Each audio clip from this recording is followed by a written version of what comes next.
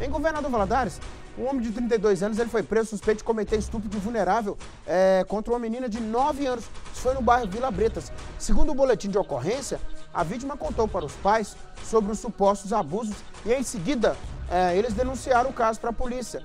A criança contou que os atos já aconteceram várias vezes, mas ela ficou com vergonha de contar para os pais e pensou que tudo era normal. Olha só.